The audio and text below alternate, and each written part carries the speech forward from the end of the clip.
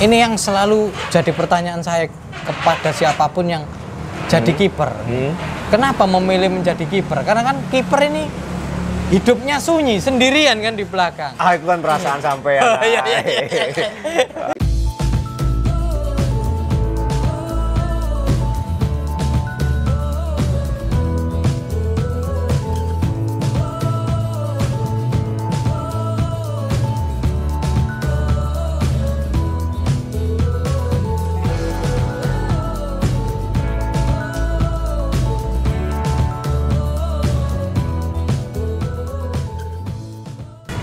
Sebenarnya ini jamnya sudah malam, sudah jam 10 malam.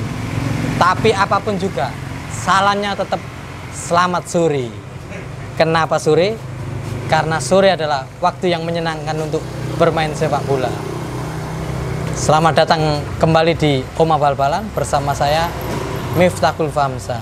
Lah, sore ini sebenarnya malam ini tadi ya. Sore ini saya mampir di warungnya Agung Prastio, mantan kiper juara PON Jatim, kiper Arema Malang, Delta Sidoarjo, Persisam Samarinda. Putra Samarinda, Mitra Kukar, akeh banget pokoknya klubnya. Selamat sore Mas Agung. Sore, sore, sore, sore. Ya apa kabar Lur? Alhamdulillah, happy-happy aja ya begini, sehat waras semuanya. Ya, beginilah. Alhamdulillah saya sehat-sehat selalu. Ya, alhamdulillah, alhamdulillah. Nah ini seperti saya bilang tadi bahwa ini saya mampir di warungnya Mas Agung ini. Ini warung rawon suwir dan pecel blitar ya. Sejak kapan ini? Eh, pertama kali saya memutuskan untuk jualan itu kira-kira 8 tahun dari sekarang ya. Berarti berapa? Bu 13. 2013, 2013. Yaitu setelah saya tidak berkecimpung di level Liga 1 Indonesia yaitu pada terakhir saya setelah main terakhir itu di Persegres Gresik Persegres Gresik terus saya memutuskan untuk wirausaha.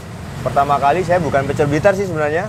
Saya itu buka sambelan. Jadi sambel ada lele bebek ayam gitu. Bukan di sini di agak sebelah sana tempatnya ya kira-kira enam bulan lah. Enam bulan terus akhirnya saya ketemu dengan nenek istri saya di Blitar. Kita ngobrol-ngobrol terus akhirnya diarahkan ke pecel karena memang keluarga istri itu di Blitar memang jualan dulunya jualan makanan pecel. Akhirnya kita dapat resepnya. Ya alhamdulillah sampai sekarang tetap berkembang tetap bertahan. Ya seperti ini Hari ini laris nggak Lur? Alhamdulillah sekarang udah jam setengah sepuluh udah tutup. Oh iya, luar biasa. Ini saya terakhir ke sini kalau nggak salah 2018. Siap, siap. Lama sekali nggak mampirnya. Soalnya saya sibuk, makanya kelihatan lama dia ke sini gitu loh, Mas Miftah ini. Sebenarnya nggak sibuk-sibuk amat, pengangguran. Pengangguran banyak acara kan?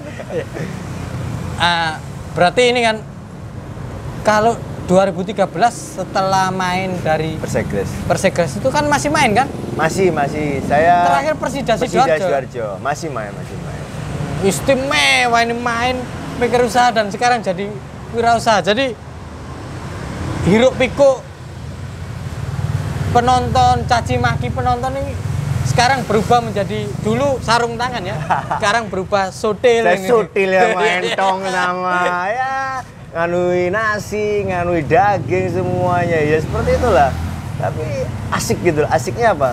Kita jadi apa ya? eh, dari kita itu nggak ada perasaan bahwa ada pasca setelah kita bermain itu merindukannya kita akhirnya terlewati karena kesibukan yang sekarang ini alhamdulillah gitu. Berarti ini masak sendiri, belanja sendiri. Ya, kalau untuk masak saya bantu istri saya.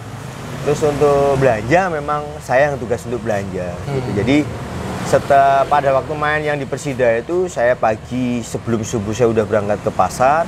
Setelah pasar baru saya berlatih. Waktu itu pelatihnya coach Freddy Muli eh, dan banyak pemainnya yaitu teman-teman senior ada Bejo Subiantoro, ada Nurul Huda, Miftahul Huda, Sutaji semua yang asli Sidoarjo itu kita memang waktu itu terakhir kita main bersama di Persida Sidoarjo. Bahkan setelah main di Persida, banyak teman-teman yang memutuskan gantung sepatu. Iya. Pensiun sama-sama. Oh, kayak janjiannya ya. ah, Lur, ini ngomong mundur ke belakang. Siap, siap. Eh, waktu jadi pemain kan jadi kiper ya, Ya. memutuskan jadi kiper. Ini yang selalu jadi pertanyaan saya kepada siapa pun yang jadi kiper. Hmm. Kenapa memilih menjadi kiper? Karena kan kiper ini hidupnya sunyi sendirian kan di belakang. Ah, itu kan perasaan sampean. Oh, iya, iya, iya. Ah, T- ah, kiper ini kan latihannya Ya, ya. paling paling susah kalau paling susah memang. ya paling kenceng tapi main nggak nggak ikut main Ya, bola kan betul. jagain gawang nah memutuskan memilih jadi penjaga gawang itu kenapa dulu Eh, sebenarnya sih saya dari dulu kecil tuh bukan ngelihat dari sosok idola kipernya siapa enggak. Saya dulu itu seneng jatuh-jatuh.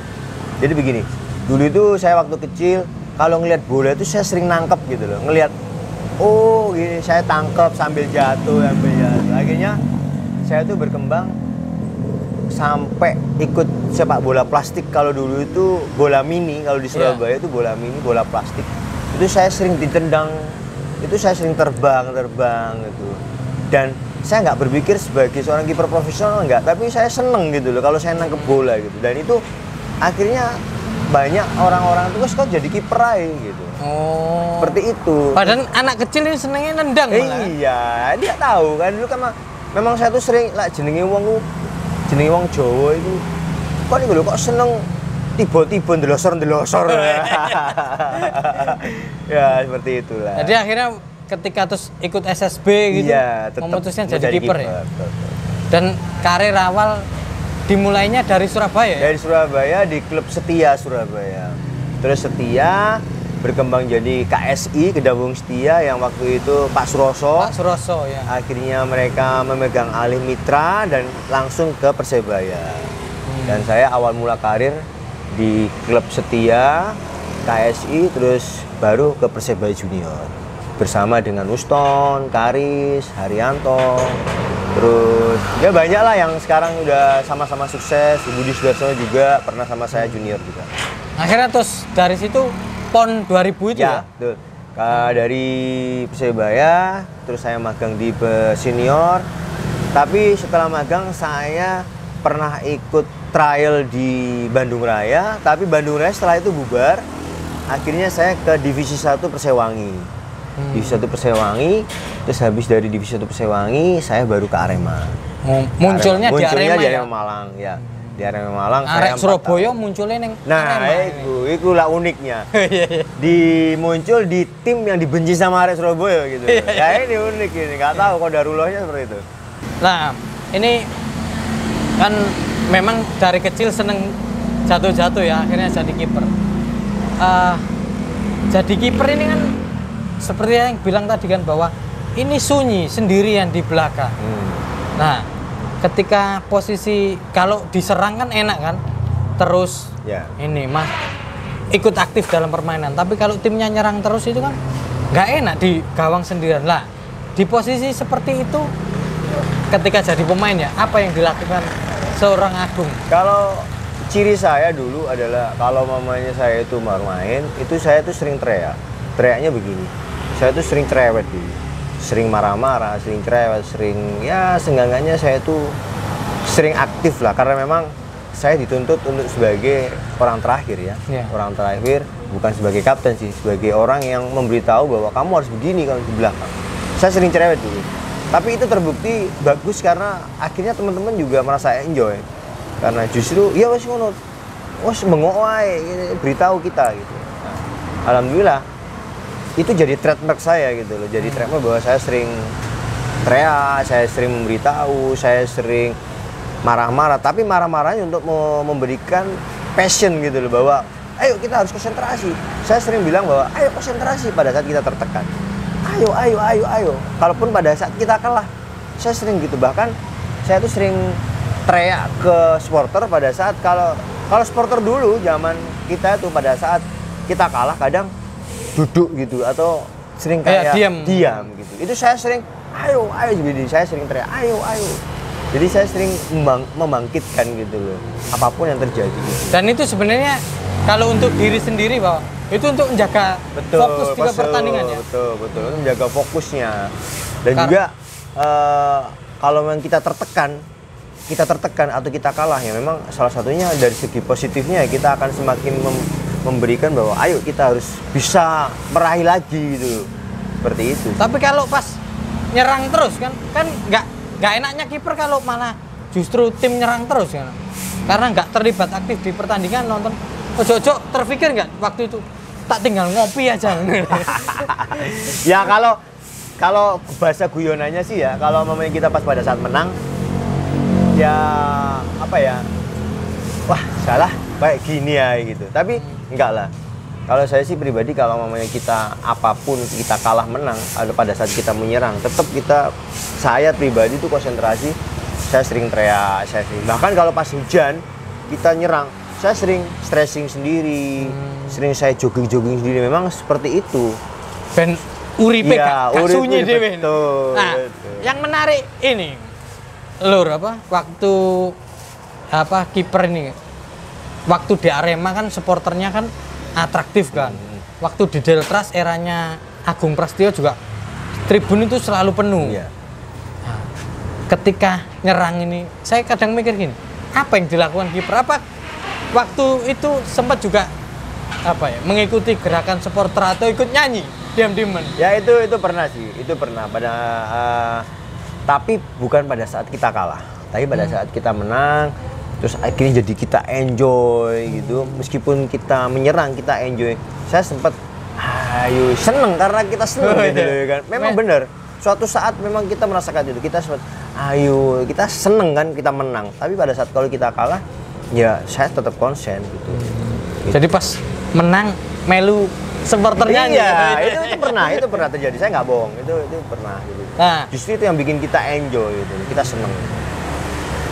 Yang juga ini kan kiper kan selalu begini kiper ini. Kalau dalam satu pertandingan itu melakukan penyelamatan 100 kali katakanlah. ya. Sebenarnya nggak mungkin sampai 100 kali. iya. Ya, katakanlah dalam satu pertandingan itu melakukan penyelamatan 10 kali. Tapi orang kan selalu mengingat kesalahannya, Iya. blundernya. Nah, di titik-titik itu kan saya yakin sih pasti Hmm. sehebat-hebatnya Agung pasti, Pasti, pasti. pasti sempat blunder meskipun sempat melakukan Ya. penyelamatan blunder. Nah, di titik itu ketika blunder kan orang nyorot itu. Ada rasa mangkel nggak gitu? Eh, saya pernah sih waktu saya di di Deltras waktu itu, oh bukan Deltras sih, saya di Arema pernah kita eh, di delapan besar, di delapan besar waktu itu kita penentuan dan ini adalah momen yang di, selalu diinget-inget oleh supporter Arema. Jadi pada saat kita lawan Persija kita menang, lawan Tangerang kita draw, dan kita butuh satu kali lawan Pelita Solo di Senayan itu kita butuh hanya draw, itu kita bisa menang. Ternyata itu ada momen yang paling menyakitkan buat saya yaitu gol bunuh diri. Yaitu pada saat saya dengan Mas Sunardi, Sunardi C itu pada saat bola crossing Sunardi itu kontrol ke saya tapi saya maju. Gitu loh. Jadi salah komunikasi ternyata bolanya masuk ke gawang pada saat kontrol. Karena saya sudah maju dia kontrol dada bolanya masuk ke gawang. Itu gol bunuh diri yang paling menyakitkan dan paling meruntuhkan mental. Gitu loh dan yang diingat penonton bukan yang pertama-tama tapi itu. Karena memang itu yang udah bikin kita lolos karena kita kalah 3-0 dan saya harus berani mengakui ini karena memang banyak beberapa supporter yang tua-tua era zaman dulu itu masih belum bisa merelakan kekalahan ini. Bahkan kalau tiga-tiga mereka selalu bilang oh gulmu ini ini saya sering saya ya dikata-katai gitu. Ya memang saya mangkel sih. Tapi ya memang bagaimana gitu. Resiko Kami- jadi kiper ya? iya. Dan dari sekarang pun saya masih berusaha untuk memberikan keterangan bahwa itu bukan gol suap itu bukan gol ini. Itu memang ah murni gol bunuh diri yaitu salah komunikasi. Jadi itu aja. Dan memang sampai sekarang itu pernah terpikir bahwa saya pulang dari Jakarta dari Malang terus habis itu saya naik bis saya sebelum naik bis saya di terminal Arjosari itu saya diludahi sama pernah sama seorang maklar bis Gara-gara gara-gara kejadian itu. Tapi saya nggak marah, saya terima, saya yang minta maaf.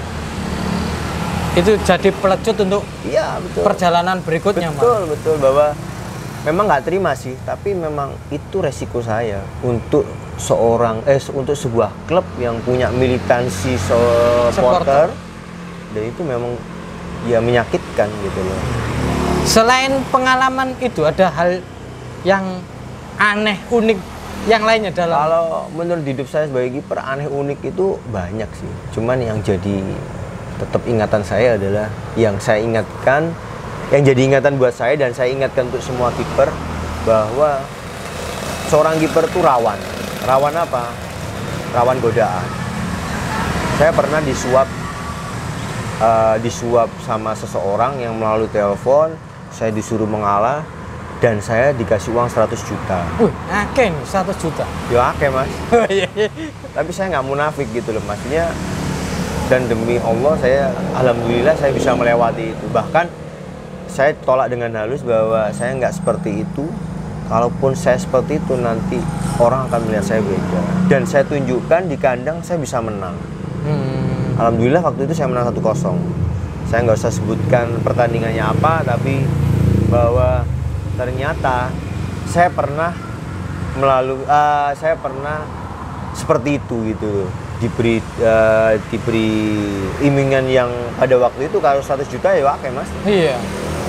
oke Nah. mas gitu loh Ini masa-masa hal-hal yang unik ya. Iya. Kalau bicara ini sebagai kiper ini kan ada nggak saat-saat waktu dulu waktu jadi kiper itu sempat ada saat-saat sempat grogi nggak ngadepi ketika terjadi tendangan bebas ngadepi penendang-penendang yang tendangannya bagus atau syutingnya sangat keras.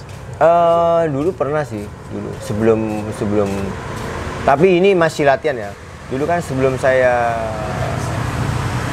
oh bukan sih pas waktu main waktu itu saya dulu pernah zamannya kalau dulu tendangan bebas paling bagus paling keras atau paling bagus Kalau paling keras sih siapa? Kan dulu ada dulu ada almarhum Eri Eri Rianto, Eri. ada Andri Gepeng Budianto, Ya. ada Bima Sakti kalau Nah, kalau dulu pernah saya kalau yang level gepeng kan satu tim selalu satu tim dengan Oh, iya, saya satu. gitu. Kalau untuk Bima waktu itu pernah eh, waktu itu Bima memperkuat PES-PES Pekanbaru. Waktu itu ada Hendro, ada Aples. Itu saya pernah dan ya alhamdulillah nggak sampai gol sih. Gitu. Itu memang pernah terbesit bahwa saya selalu was-was bahwa memang oh ini orang ini memang punya tendangan bagus dan saya harus fokus saya ini dan alhamdulillah saya nggak pernah kebobolan dari itu gitu loh. Kalau sama Eri, almarhum Eri, Eri itu pernah dulu waktu almarhum kita pernah latihan sih, pernah latihan, latih tanding dengan almarhum. Saya waktu itu ikut mana ya? Pokoknya pernah latihan, terus dia yang nendang, saya tepis. Alhamdulillah sih. Saya tepis, tapi memang saya rasakan bahwa almarhum almarhum tendangannya sangat keras banget. kalau boleh kalau boleh apa, memilih di antara semua pemain Indonesia yang tendangannya paling kencang, Tetap almarhum Eri kalau. Eri ya? Almarhum Eri. kalau yang tendangan bebasnya menakutkan. Kalau tendangannya paling bagus itu kalau zaman dulu itu eh, mungkin saya pernah Luciano Leandro ya. Hmm. Waktu itu di Persija gitu. Ya. Iya, iya. Saya pernah, saya pernah itu dan saya tapi nggak sampai gol ya Pak. Nggak sampai gol. Tapi saya pernah merasakan bahwa saya sangat takut gitu ya. Jadi sebagai kiper ternyata ada rasa was-was, ada rasa takut ya ketika ada Ya. tendangan bebas atau ya menghadapi pemain yang punya tendangan bebas Ya. bagus atau punya tendangan kenceng ini. Iya, pernah sih. Pokoknya bukan hanya tendangan bebas saja, bukan hanya syutingnya aja, tapi kadang-kadang kalau kita ngelihat seorang pemain yang punya eh, seperti Kurniawan, seperti BP, BP terkenal dengan headingnya, raja heading. Tapi saya berusaha untuk menaklukkan itu. Dan alhamdulillah kalau kalau untuk BP eh, waktu yang kalau saya lawan head to head di Persija kita pernah draw kita pernah eh, kalah juga. Tapi seenggak-enggaknya saya pernah merasakan ketakutan itu Hmm. itu itu normal untuk seorang kiper karena wah iki wah iki wah iki itu itu itu normal Kalau ini menghadapi apa tendangan penalti, apa yang dulu dilakukan Agung apa ya? Mungkin kan ada momen-momen tertentu kena penalti ya. Pasti kan apa ya kalau tim tertentu ini pasti penendangnya itu itu itu aja. Nah, yang dilakukan kalau ada momen penalti itu Kalau momen penalti, saya pernah menggagalkan penalti dari yang paling bagus bagi saya, memori saya itu adalah ketika saya eh, SCTV apa itu ya dulu saya ikut Persisam kita semifinal di Papua lawan Lamongan. Dulu masih ada yang Piala SCTV itu. Oh, iya, iya. Itu dan saya semegang kaptennya Gustavo saya tepis. Terus liberonya yang dari itu juga saya tepis. Fabiano. bukan bukan yang satunya. Ada yang kurus itu saya tepis. Terus yang satu Zainal Arif. Ya Zainal Arifin. Zainal Arifin saya tepis. Itu yang bikin kita lolos. Itu momen yang saya rasa saya paling bagus dan juga pada waktu Deltras playoff di Tangerang kita Oh, ini lawan nih. Persikota playoff kok di Tangerang Eh. playoff di ini Bandung Bandung Jalak Harupat pokoknya kita lolos kok kalau iya nggak salah lolos 2005 Iya, itu kita lolos dan itu juga dari tendangan penalti. Alhamdulillah saya bisa nepis itu. Gitu. Jadi itu adalah momen yang paling bagus karena apa? Karena saya bisa memberikan kontribusi pada saat ini loh momen-momen penting gitu loh. Tapi pernah saya juga merasakan ya kecewa, nggak bisa nangkep. Tapi minimal saya kalau melihat penalti adalah sesuatu 90 lawan 10 persen lah. lah kalau menyiapkan dirinya apa bekalnya itu Kalau bekal sih saya nggak ada bekal latihan khusus, saya cuman hanya berbekal keyakinan bahwa saya harus bisa membaca pikiran penendang itu dan saya harus bisa bergerak sesuai dengan hati penendang itu. Itu aja sih. ya apa caranya membacanya Ya, ini kan feeling aja mas. Oh, iya, iya, iya. kayak ini membaca hati Iya, cewek aja. Mas. Masya Allah. Ya seperti itulah, nggak ada latihan khusus treatment nggak ada sih, cuman ya feeling aja sih kalau mamanya, oh ini pasti ke kanan, oh ini pasti ke kiri. Yang penting gitu dan juga berlatih dari sudut sudut tendangan aja sih. Hmm. Nah, ini menarik ini jadi pelajaran buat teman-teman yang mau jadi kiper ini. Karena apa yang diobrolkan Agung Prasetyo tadi ada banyak hal yang menarik. Mungkin kalau boleh ini lah. Ya, karena ya. kan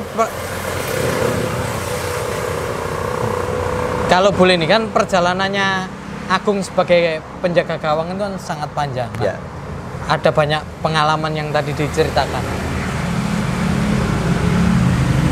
Kalau boleh tips buat anak-anak yang mau jadi penjaga gawang atau penjaga gawang penjaga gawang muda. Ah, untuk menjaga menjaga yang di level grassroots di youth ada satu tips bahwa seorang penjaga gawang itu berat gitu. beratnya apa pertama di latihan juga berat karena seorang penjaga gawang itu latihannya dua kali lebih dari seorang pemain biasa tetapi kalau di pada saat pertandingan itu penjaga gawang paling enak karena memang dia jarang pegang bola tapi akan banyak konsentrasi. Jadi tipsnya adalah jangan pernah kamu lelah untuk belajar seorang kiper. Karena apa?